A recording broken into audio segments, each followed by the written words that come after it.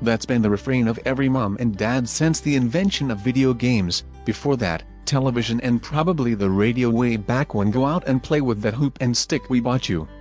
But there's another way to enjoy nature smell the smells, feel the wind in your hair, and make it to some amazing places in the process, all without donning a pair of hiking boots. The convertible the 2018 Mercedes-Benz E-Class Cabriolet, like most convertibles, isn't made for a track day, or autocross day, or a drag race.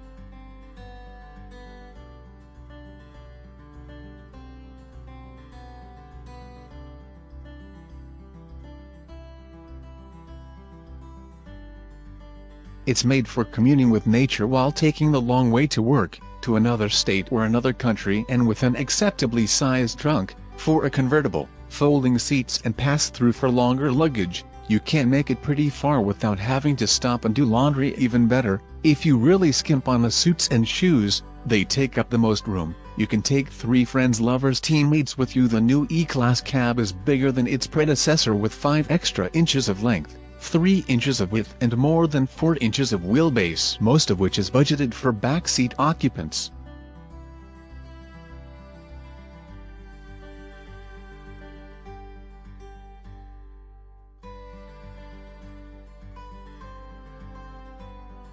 That means the Sherpa, priest and rabbi you travel with, we get it, you have an eclectic crew, will be as comfortable as you are in the driver's seat,